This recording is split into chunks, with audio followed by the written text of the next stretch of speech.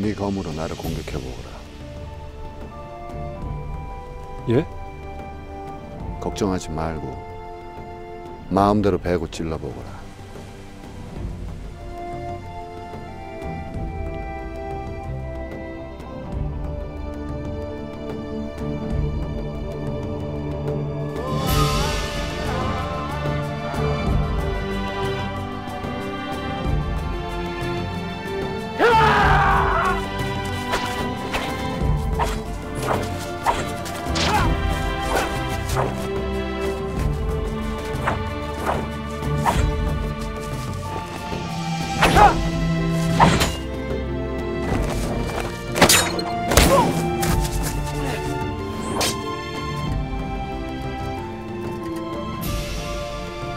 난 두 눈이 보이지 않는다.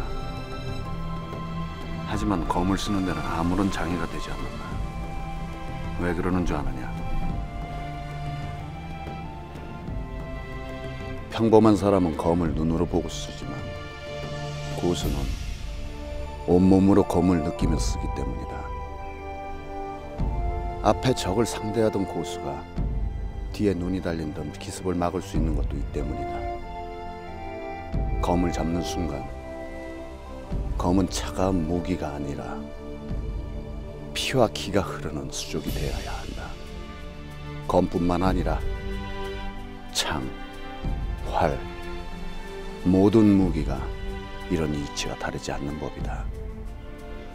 기를 모아 다시 검을 쥐거라.